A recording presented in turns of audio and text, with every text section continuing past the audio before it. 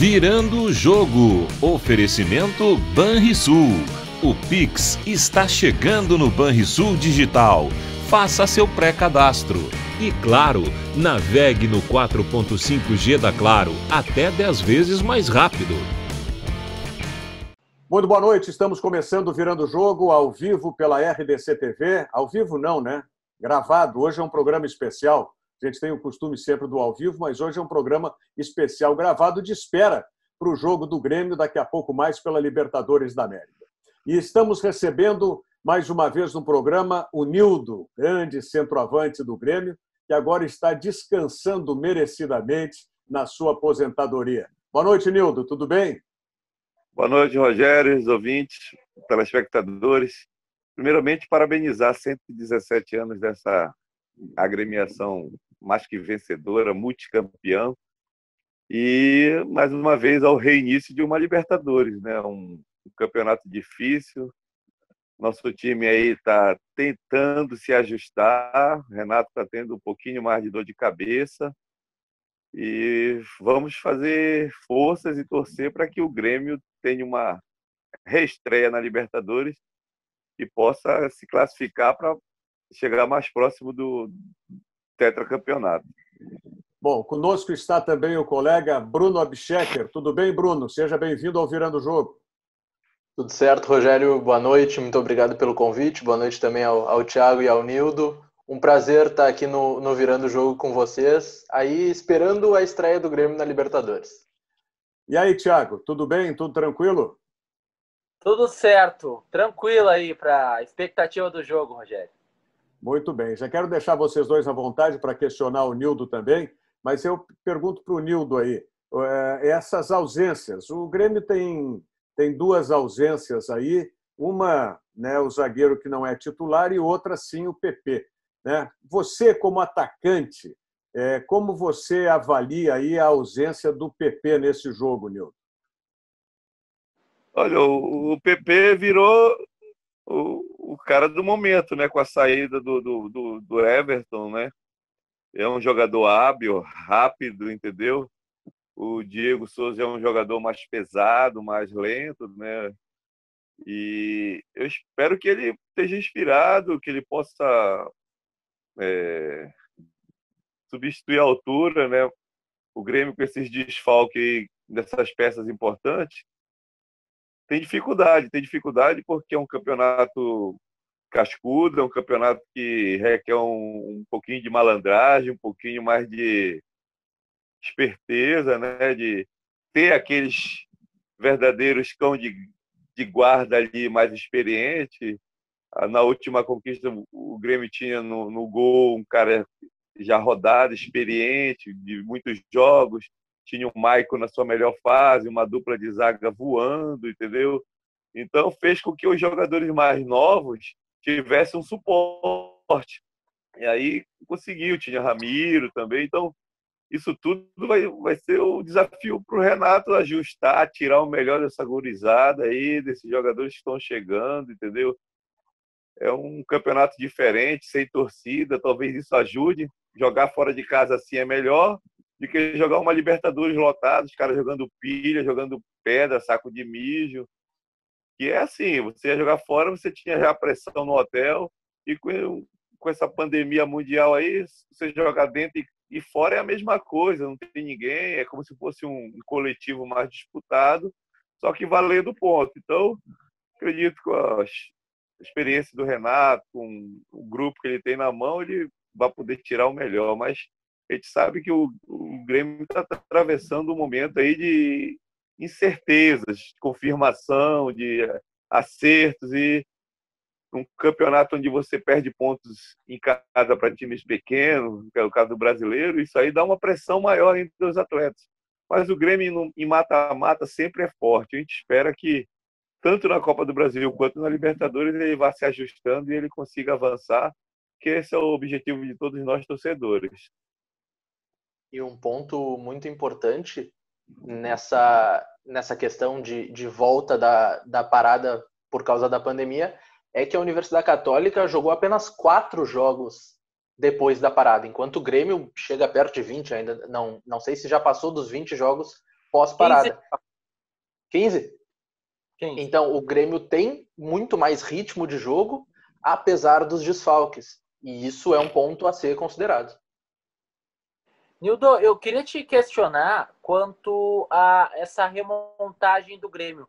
Uh, muito se questiona se o Renato consegue mais uma vez reformular o elenco do Grêmio para ser uma equipe postulante ao título da Libertadores da América. Como é que tu enxerga esse trabalho do Renato e essa remontagem de time? Olha, é, ela está um pouco mais difícil, né? Vai, vai ter adversários aí que estão prontos, que perderam uma ou duas peças. E teve times que acrescentou peças melhores e não perdeu quase ninguém. É, é, é mais difícil, é mais complicado. Eu acredito que, como o Renato tem um pouquinho de segurança a mais que os outros treinadores no Grêmio, não dando para esse ano, acho que ano que vem dá, porque são mudanças assim, jogadores chaves, né? Jogadores pontuais, por exemplo.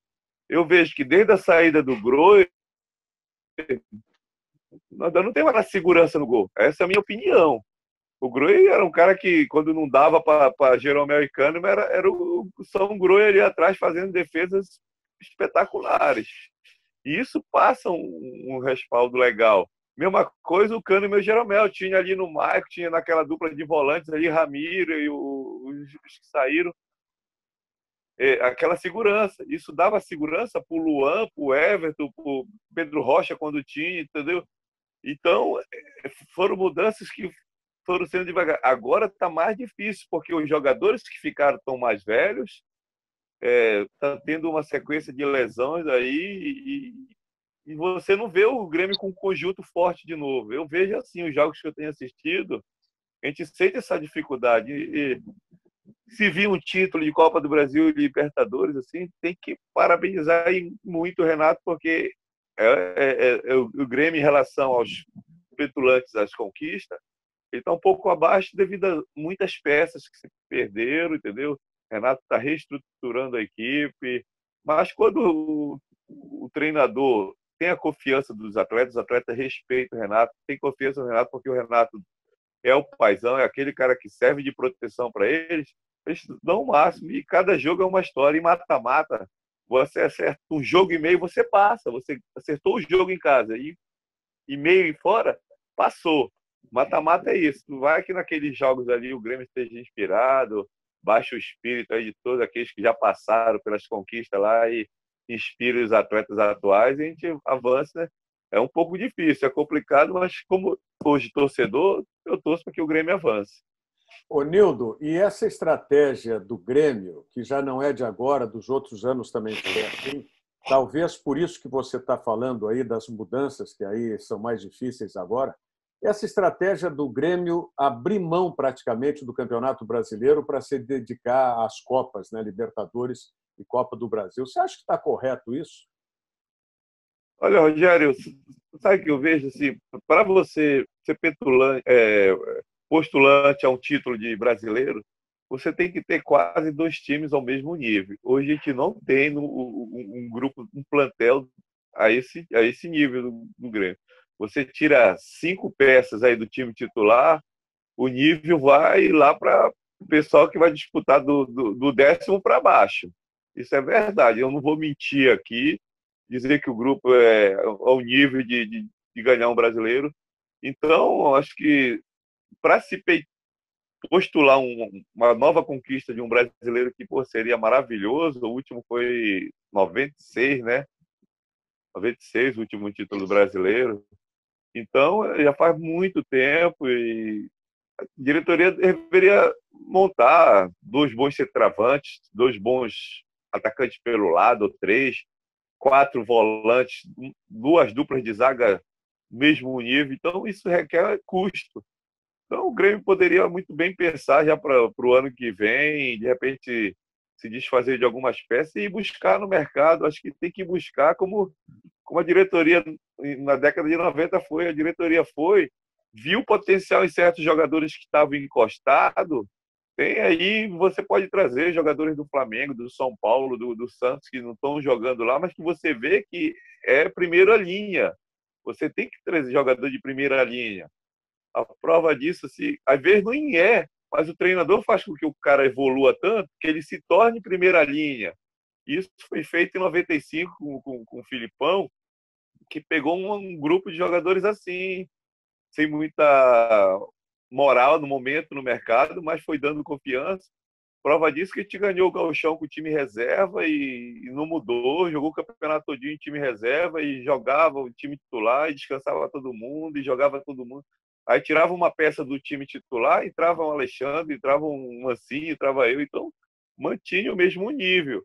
Então não caía. Hoje o Renato tem dificuldade. Você vê um jogo aqui não joga Kahneman, Jeromel, não joga Maico, não joga o Diego Souza.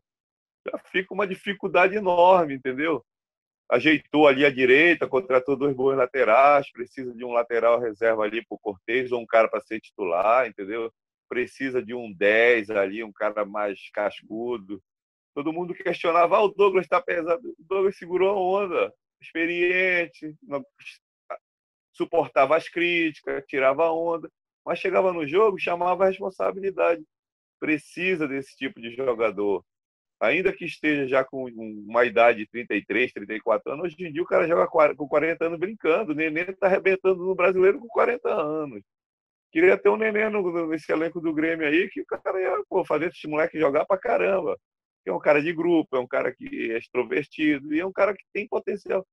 Hoje em dia as pessoas querem muito jogador novo, mas às vezes não tem aquela qualidade, não tem aquela é, suportar a pressão, a pressão da imprensa gaúcha também, ela é muito forte. Agora não, porque a pandemia, a pandemia não tem torcida, não tem.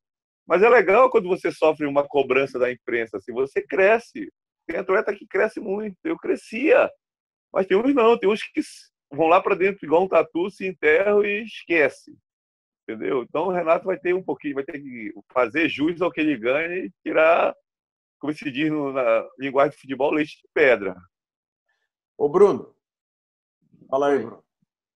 Eh, Nildo, queria falar contigo sobre o, o provável time do Grêmio para hoje de noite, porque o meio-campo é muito jovem. Talvez o, o mais experiente dessa provável escalação seja o Alisson, que também não é um jogador de tanta experiência.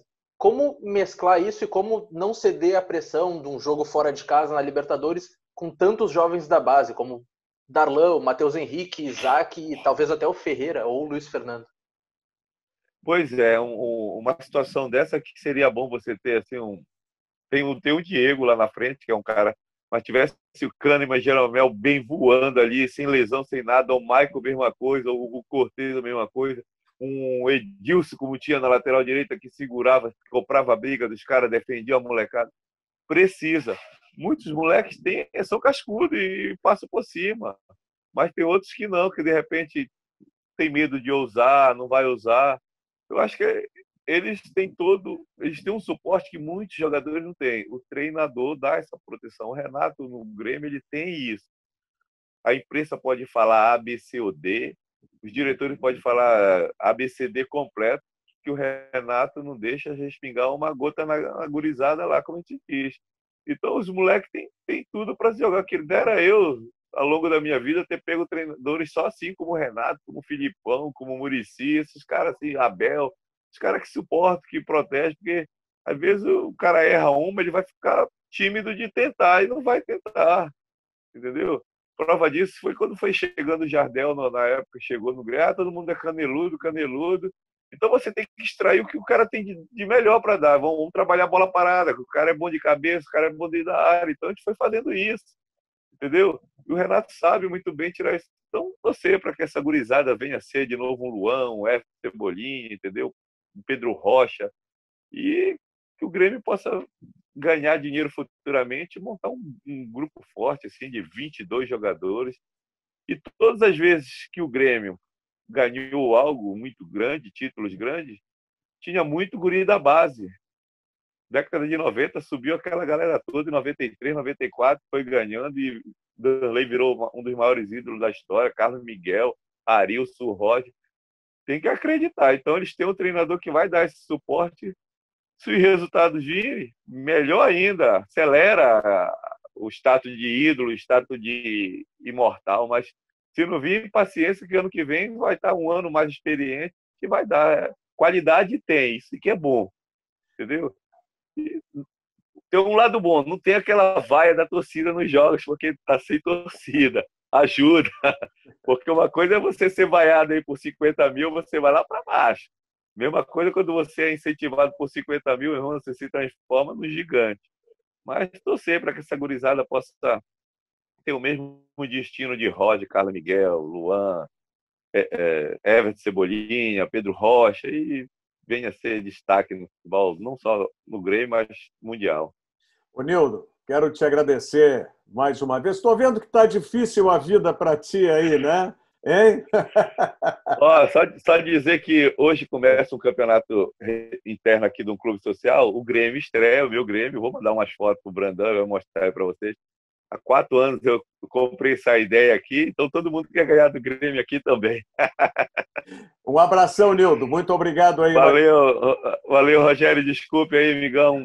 Precisando, a gente está à disposição, tá? Fica na paz aí. Dá-lhe Grêmio. Valeu, Nildo. Obrigado mais uma vez. E olha, e que tal essa novidade do Banrisul? Você poder pagar e receber em tempo real, nas 24 horas do dia, nos sete dias da semana, inclusive nos feriados. Vou repetir: pagar e receber em tempo real, nas 24 horas do dia, nos sete dias da semana, inclusive nos feriados. É o Pix que está chegando no Banrisul Digital. Não perca mais tempo, faça já o pré-cadastro no aplicativo, no Banrisul Digital. Pix, chegando no Banrisul Digital. Vamos às mensagens do Banrisul, da Claro e da Fê Comércio e voltamos em seguida com o Virando o Jogo. Estamos vivendo um momento diferente de se resguardar e proteger o próximo. Pensando nos nossos clientes e na comunidade, tomamos as medidas necessárias para esse momento. Conte com os canais digitais do Banrisul e procure o atendimento presencial só quando for indispensável. No aplicativo Banrisul Digital, você gerencia sua conta pessoal e empresarial, faz transferências, pagamentos e até depósito de cheques, tudo com segurança e de onde você estiver. Banrisul e você. Nossa parceria faz a diferença. Com o 4.5G da Claro, você navega até 10 vezes mais rápido, posta tudo voando, aproveita vários apps e ainda fala ilimitado, do pré ao pós. Deixe o sol entrar.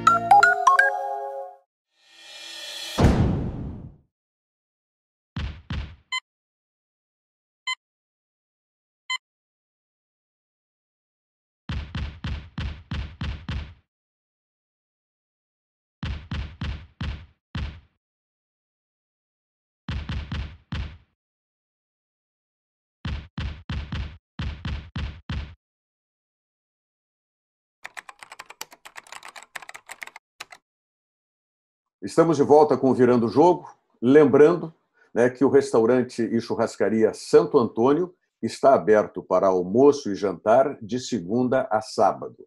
E também segue com a teleentrega 32 22 31 30. Então, não perca tempo, faça já o seu pedido para o restaurante Churrascaria Santo Antônio, a churrascaria mais antiga do Brasil, 85 anos, e os filés que são incomparáveis do Santo Antônio. Toda a tradição e qualidade na Dr. Timóteo 465. E o telefone para a tela entrega 32 22 31 30. O Virando o Jogo agora está recebendo um dos nomes mais participativos e integrado na história do Grêmio. Como vice-presidente ou colaborador, já atuou nos mais diversos setores do clube, desde o departamento jurídico até o departamento de futebol. E hoje é integrante do conselho de administração do Grêmio. Advogado, professor, especialista em legislação e ética, mas eu diria, antes de tudo, especialista em Grêmio. Estou falando do meu prezado amigo, doutor Adalberto Praz. Praz, seja muito bem-vindo ao Virando o Jogo e cumprimentos nesse momento, nessa data que é muito importante e especial para o Grêmio. Cumprimentos pela tua trajetória dentro do clube, Praz. Muito obrigado, Rogério. É, é, realmente é uma participação longa, com alguns intervalos também longos de afastamento da atuação direta no clube, mas acabei sempre sendo chamado novamente e estou lá até hoje. Quantos anos são, Praz, de, de Grêmio, independente de períodos que esteve, mas sempre esteve como torcedor, não é? Então sempre esteve no Grêmio. Quantos anos são? Ah, eu sou associado desde os anos 60. Me parece que a data é 1962, o meu título. Eu era bem jovem ainda quando meu pai me presenteou com um título do Grêmio. Ele, na ocasião, comprou um para ele e outro para mim. E desde então eu tenho participado no, no Grêmio, na, na administração do clube. Eu comecei na década de 70 no departamento jurídico, depois fui secretário-geral do clube, a secretaria-geral foi na gestão do presidente Luiz Carvalho. Depois entrei para o Conselho Deliberativo, fui vice-presidente pela primeira vez com o presidente Fábio Koff, nos anos de 1982 e 83. Tive o que eu considero um privilégio de ter ido ao Japão, a Tóquio, e assistir em loco, no, no Estádio Olímpico de Tóquio, ao Grêmio se sagrar campeão mundial interclubes. Depois disso, no futebol, pela primeira vez, como vice-presidente de futebol, foi nos anos de 1985 e 86, quando presidente, o doutor Irani Santana. Depois eu fiquei um tempo afastado e fui chamado novamente em 1998, gestão Cacalo, por um convite do presidente Koff, que insistiu comigo, depois o Cacalo. Estou falando exatamente do meu escritório, onde o Cacalo passou uma tarde para me convencer a aceitar a vice-presidência de futebol. Eu lembro que o Grêmio estava na ocasião, isso foi segundo semestre de 1998, mês de agosto, campeonato nacional, campeonato brasileiro, o Grêmio estava na lanterna do campeonato, a muitos pontos atrás do penúltimo colocado. E era realmente uma situação difícil. O Grêmio estava vivendo uma fase de transição entre aqueles anos áureos da gestão Fábio Koff, Cacalo vice-presidente de futebol, treinador na maior parte dos anos o Filipão, Luiz Felipe Scolari, e estava numa daquelas fases de transição, tendo vendido os principais jogadores, remontando o elenco. Mas nós conseguimos, na ocasião, contratamos o que muita gente considera como um azarão ou um incompetente. Contratamos como treinador Celso Rotti, que fez um trabalho fantástico no Grêmio naquele segundo semestre de 1998 e saímos da lanterna, fomos crescendo, crescendo, crescendo, e na última partida da fase de classificação, o Grêmio conseguiu se classificar para os chamados playoffs que houve naquele ano. Se classificou, foi um, um, um eu diria assim, foi uma façanha que teve para uma classificação inédito, e eu acho que é único na história que se conheça, pelo menos por aqui, teve festa na Goethe naquela classificação. E aí uma pimentinha né, para os nossos co-irmãos. O Internacional tinha estado classificado durante toda a fase de classificação e o Grêmio não só nos, nas primeiras rodadas nos outros lugares, como em nenhum momento da fase de classificação o Grêmio estivera classificado. Pois na última rodada, o Grêmio praticamente tomou o lugar do Internacional, se classificou, o Internacional ficou fora. E aí surgiu, dessas coisas do folclore, do futebol, a história do flanelinha, de que o Inter teria sido o flanelinha do Grêmio, que ficou guardando lugar para o Grêmio entrar. Mas aí entra na, no folclore, na brincadeira, a sã, eu diria a sã brincadeira do futebol, porque eu não sou favorável de forma nenhuma às agressões decorrentes da rivalidade. A rivalidade é a rivalidade em campo. Todos nós temos familiares, eu não tenho diretamente, mas indiretamente, familiares que torcem para o outro clube, temos amigos que torcem para o outro clube, não há motivo para se ter uma rivalidade violenta. Tem que ser uma rivalidade é, dentro de campo, uma rivalidade exclusivamente no terreno esportivo. Bom, mas aí, novamente, fiquei fora durante muitos anos e fui chamado para ah, ah, chamado para aquele período complicado e difícil que foi pós falência da ISL e o buraco enorme que se criou nas finanças do Grêmio, extremamente endividado. E fizemos na gestão 2003-2004, em 2004 o Grêmio, inclusive, é, caiu para a segunda divisão, foi a segunda queda, que algumas pessoas até não gostam de falar, acho que a gente tem que enfrentar.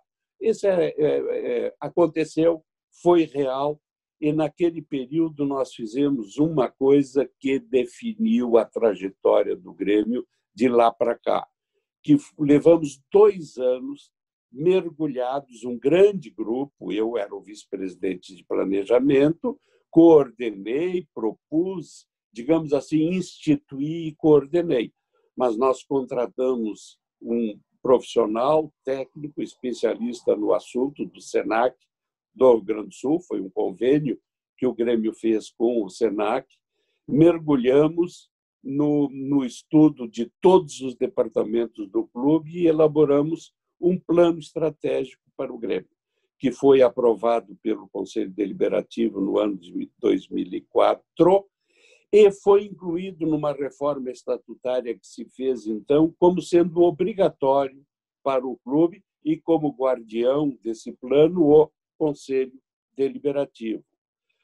Vários vice-presidentes, perdão, vários presidentes do Grêmio já disseram, e eu tenho inclusive atas do Conselho Deliberativo com essas declarações, que aquele plano estratégico salvou o Grêmio, porque o Grêmio estava realmente é, quebrado naquele momento, sem nenhuma condição financeira para fazer investimentos. Mas veio vindo, veio vindo com o esforço de todos, com a, a, uma grande contribuição da torcida gremista. O Grêmio foi se recuperando e há etapas aí, inclusive a da questão da construção da arena. Eu fui o primeiro presidente da Grêmio Empreendimentos que viabilizou, acompanhou a aprovação dos projetos, levou até a, a pedra fundamental, no dia 20 de setembro de 2010, e a realização das fundações, quando aí foi passado para uma outra gestão. Mas a partir de 2013, a eleição foi no ano de 2012, eu voltei como vice-presidente do presidente Fábio Koff. Ficamos nos anos de 2013 2014. É, houve fatos importantes, não houve nenhuma conquista importante futebolística, mas não foi mal. Mal não foi no futebol. Bom, tanto que no ano de 2014 conquistou um vice-campeonato brasileiro, que eu diria o seguinte: aqui no Rio Grande do Sul se tem aquela ideia, só vale ser campeão. Mas no Campeonato Brasileiro e nas classificações, ser vice-campeão também é importante, tanto que é considerado oficialmente pela CBF como sendo um título. Acompanhei o presidente Romildo Bolzan a partir de 2015 e eu diria que, baseado. Aí tem um detalhe que, que tanto o presidente gosta de falar quanto eu gosto. Na eleição para suceder presidente Fábio Koff, havia é, outros ilustres gremistas e legitimamente pretendendo ocupar a presidência do Grêmio e outros de uma chapa que, que desde então era de um presidente e seis vice-presidentes, porque o Grêmio abandonou ah, o formato diretoria para constituir um conselho de administração.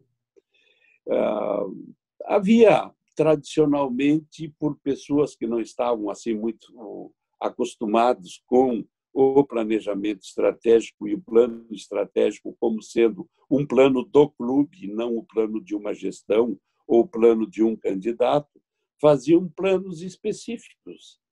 E o presidente Romildo, a nossa chapa, não apresentou nenhum plano específico para o clube. Começou o presidente Romildo a ser acusado, a nossa chapa a ser acusada de não ter nenhum plano para o Grêmio.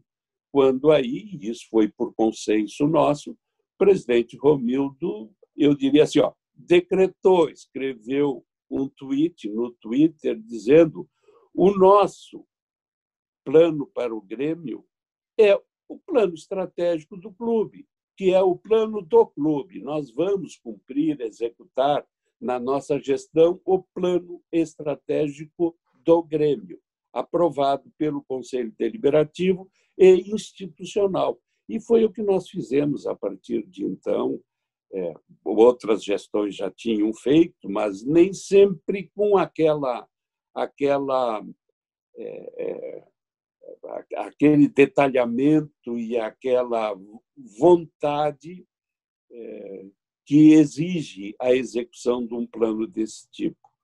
É, temos vi, vindo em 2016, conquistamos a Copa do Brasil no segundo semestre de 2016, 2017 a Libertadores da América, 2018, uma consequência praticamente, que era o mesmo time de 2017, a, a Intercontinental, a, a, a, Copa eh, Intercontinental da, da Intercontinental não. A Recopa, a Recopa, a Recopa, Recopa Sul-Americana. É, Recopa Sul-Americana. E o Grêmio tem vindo com, com bons resultados, não conquistou outros campeonatos além do Rio Grande do Sul. No Rio Grande do Sul é tricampeão este ano, mas esteve sempre presente em todas as semifinais da Copa Libertadores da América, é, chegando a esse momento, ou faz, importante também, fazendo superávites do ponto de vista contábil nos balanços do clube, o que tem sido vem sendo extremamente importante é, para o crescimento, a solidificação, autossustentabilidade do clube e que foi fundamental nessa pandemia agora para o Grêmio conseguir vencê-la.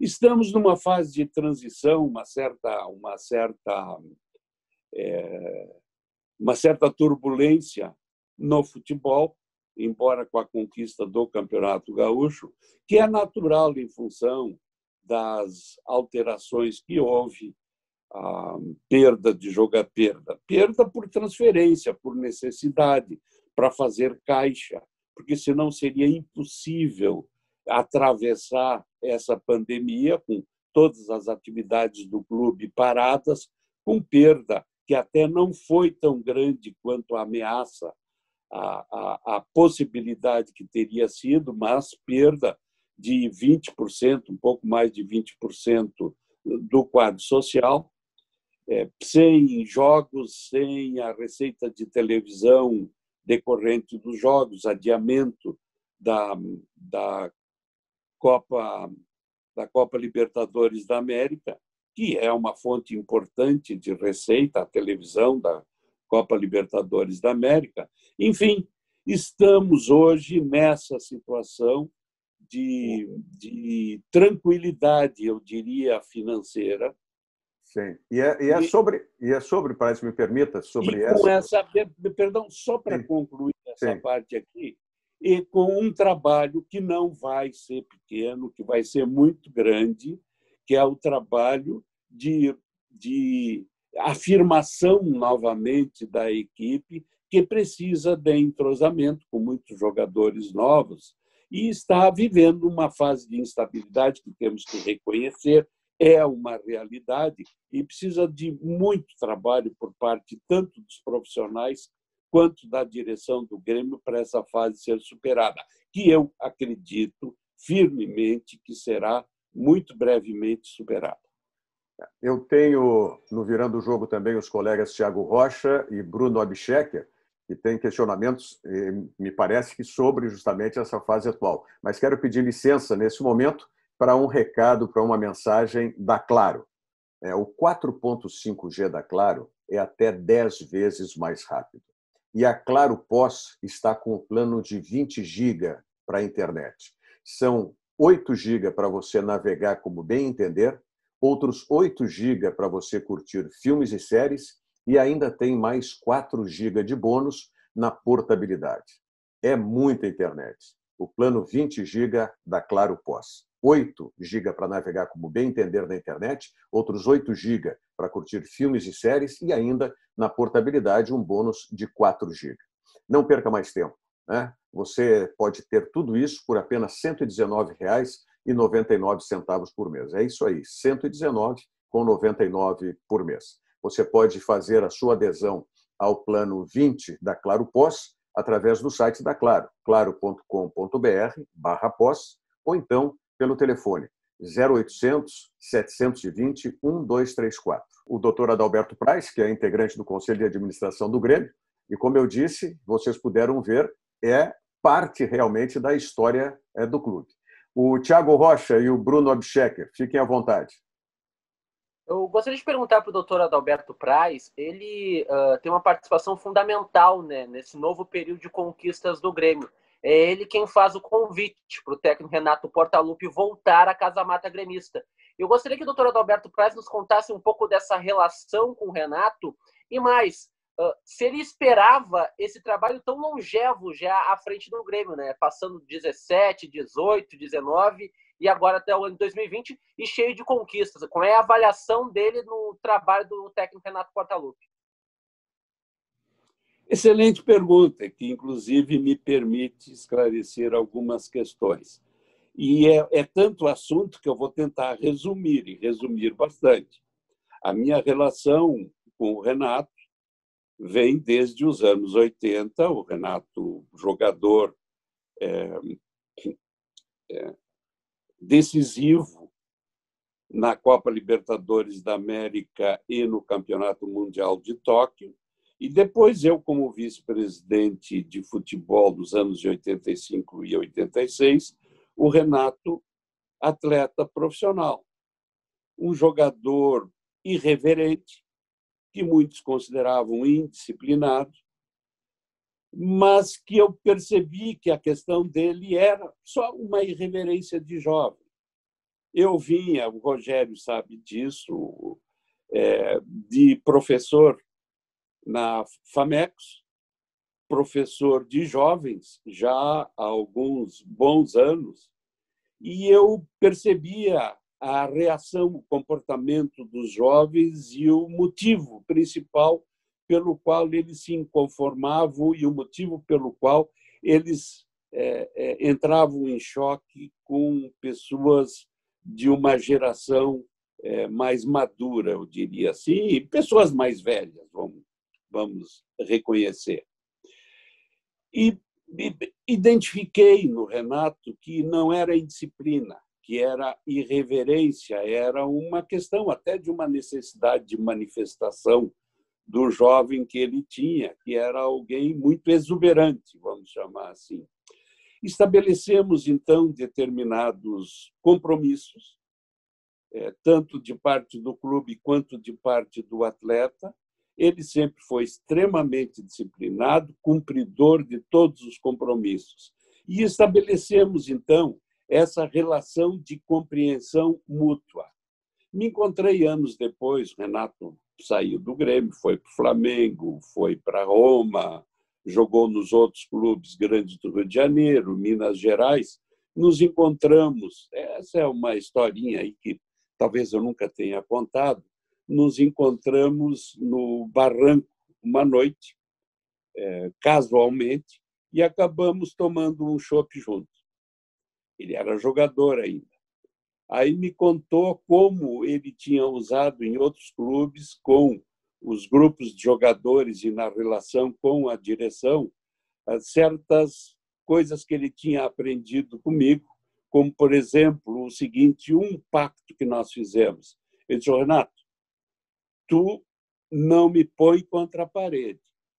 Eu também assumo o compromisso contigo que nós vamos resolver todas as questões com o diálogo. Eu também não vou te pôr contra a parede. Vamos ouvir e vamos resolver negociando os eventuais, os event, as eventuais é, diferenças que houver.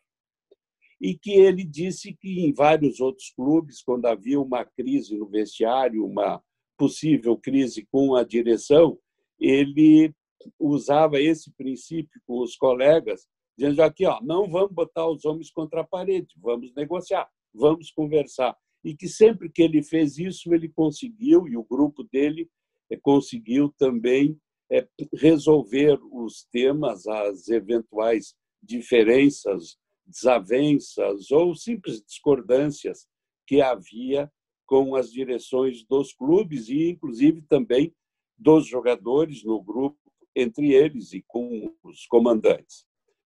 É, eu fiquei, eu confesso que fiquei satisfeito com aquilo e percebi a inteligência do Renato eu já tinha percebido. Eu percebi o amadurecimento dele, o aproveitamento das das, das lições que a gente tem, nós todos temos na vida, que ninguém nasceu sabendo e ninguém sabe tudo. Observei bem o Renato como treinador do Grêmio nas duas oportunidades. Ele fez dois excelentes trabalhos. Não conquistou títulos, mas numa das ocasiões, que foi na gestão Fábio Koff, que eu já comentei, o Grêmio chegou com um plantel relativamente limitado, talvez, é, a vice-campeão brasileiro. Um trabalho excelente feito pelo Renato.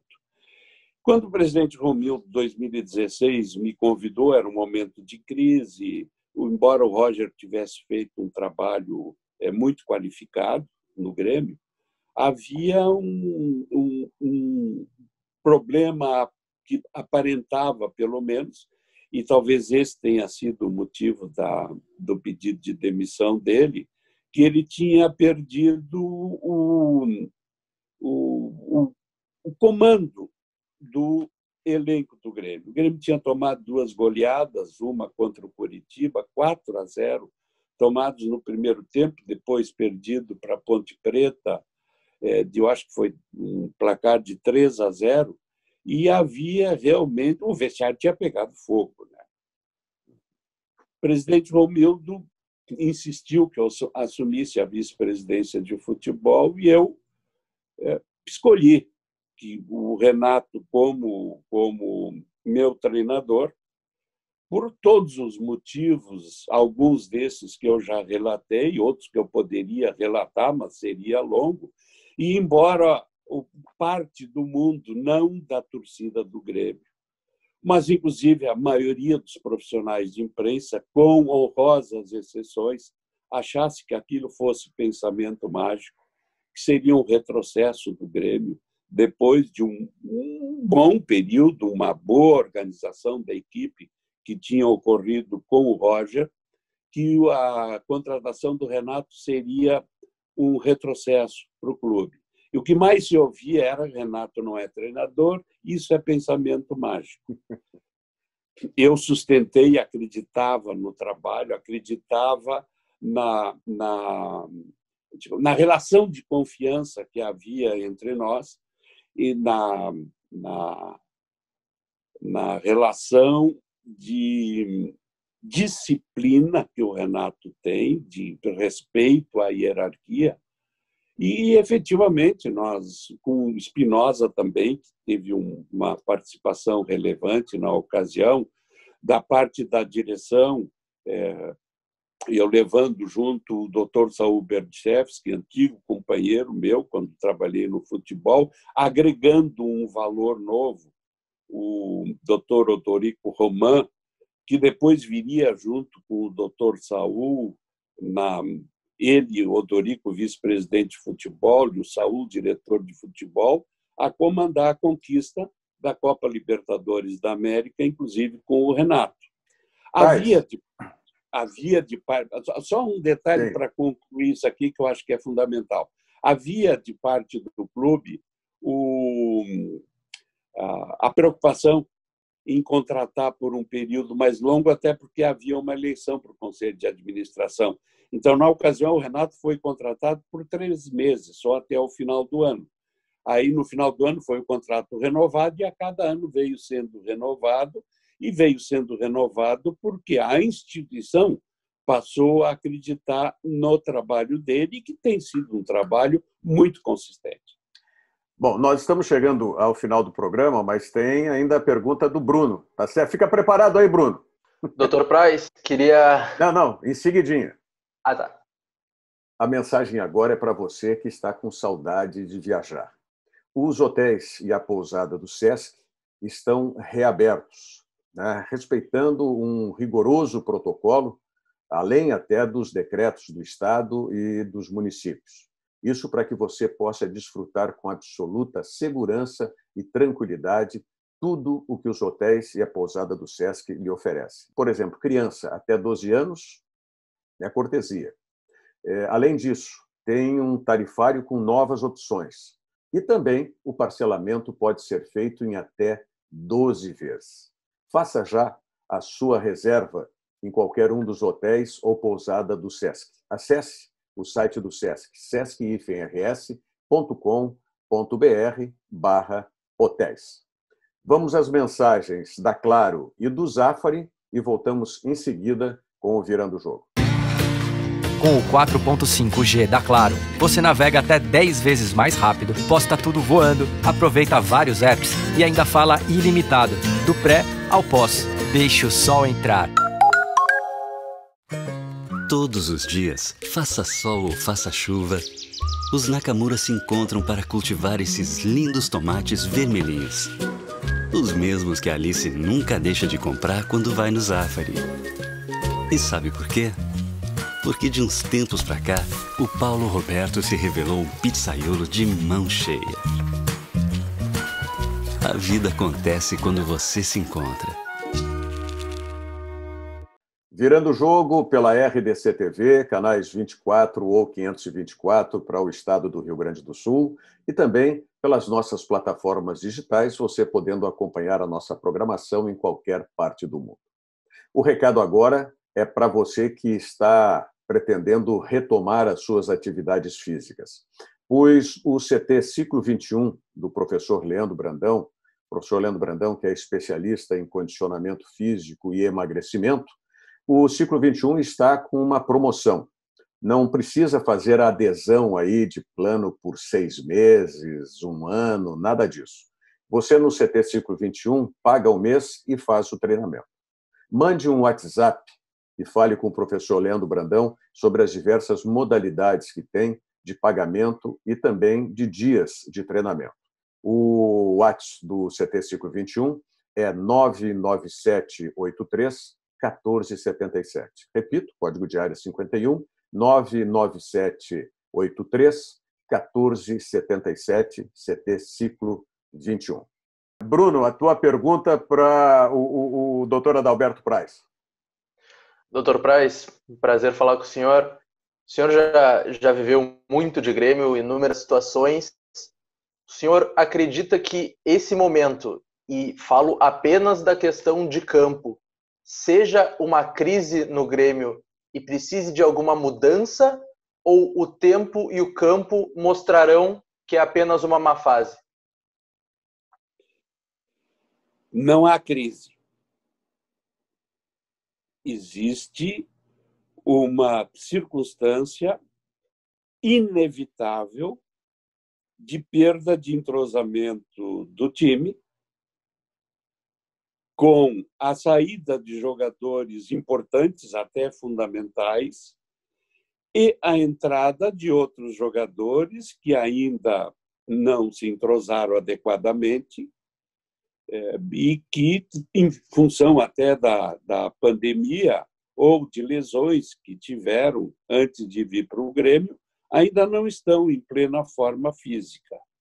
Eu acredito que, com o correr dos jogos, com a ocorrência de, desse entrosamento, a equipe do Grêmio vai recuperar as melhores virtudes que tem e que tem mostrado nos últimos anos, acredito fortemente, tanto no trabalho da comissão técnica do clube, quanto no trabalho da direção de futebol. Claro que a, a, o clube vem estudando essas circunstâncias, a, às vezes ocorre a necessidade de alguma mudança de rota, mas essa mudança de rota não atinge as principais os principais responsáveis pelo clube, pelo departamento de futebol. O treinador não vejo como o Renato venha a sair do Grêmio antes do final do contrato dele. Depois do final do contrato, talvez. É, ele tem contrato até o final do ano e ele próprio nunca assina por período superior a esse, exatamente para, se não estiver acreditando, satisfeito, enfim, por qualquer motivo, seja de natureza subjetiva ou objetiva, não queira continuar, não precise romper contrato. Há necessidade de medidas, há necessidade de providências, é preciso aprofundar o trabalho, quanto a isso não há dúvida, mas eu não acredito que isso ocorra com demissões. Isso ocorre fazendo uma, um aperfeiçoamento do trabalho com o pessoal principal que dirige o departamento de futebol. Adalberto Praz, vice-presidente do Grêmio, né, integrante do conselho de administração é, do clube. Quero te agradecer imensamente a participação conosco. É, tomara que a gente passe esse, esse momento aí, finalizando essa pandemia, e tu possa estar conosco, não é ao vivo no programa, não só né, no módulo virtual, mas que tu possa estar no estúdio conosco também. Quero te agradecer muito a participação, assim como agradecer ao Tiago Rocha, ao Bruno Abschecker. Muito obrigado. Tiago, obrigado. Abraço, Rogério. Bruno, obrigado, Bruno. Muito obrigado, Rogério. Grande abraço. E para finalizar, Praz, é, rapidamente, porque estamos em cima do tempo, quem que te levou, quem te convidou para participar dentro da instituição, dentro do Grêmio? Ah, foram duas pessoas, principalmente um, que até está trabalhando aqui no escritório comigo. Hoje, um grande advogado, doutor Carlos Mazeron Foniá Filho, que me convidou para o departamento jurídico do Grêmio eh, naquela ocasião. E ainda, junto com ele, que eram amigos inseparáveis e colegas de faculdade, o doutor Raul Regis Freitas Lima. É, os dois já integravam o departamento jurídico. Eu, na ocasião, tinha recém-formado, trabalhava ainda na antiga televisão gaúcha, depois RBS TV, já no departamento jurídico da empresa, depois de ter passado pelo jornalismo, e aceitei o convite, passei a trabalhar no departamento jurídico do Grêmio. Muito Esse bom. Foi, esses foram os companheiros que me convidaram. Muito bom. Adalberto Praz, parabéns, cumprimentos aí pela tua trajetória no Grêmio, especialmente, que é o nosso, nosso assunto nesse momento. Um forte abraço. Obrigado. Muito obrigado pela oportunidade, um forte abraço. Obrigado mais uma vez, forte abraço ao querido amigo Adalberto Praz. E olha o convite para você ficar aqui conosco, porque está na sequência aí chegando o Cadu Oliveira com o Dois Toques. E nós voltamos amanhã com o Virando o Jogo, falando, claro, da repercussão dos jogos da dupla Grenal na Taça Libertadores da América. Até amanhã. Obrigado. Virando o jogo. Oferecimento Banrisul. O Pix está chegando no Banrisul Digital. Faça seu pré-cadastro. E claro, deixe o sol entrar. Claro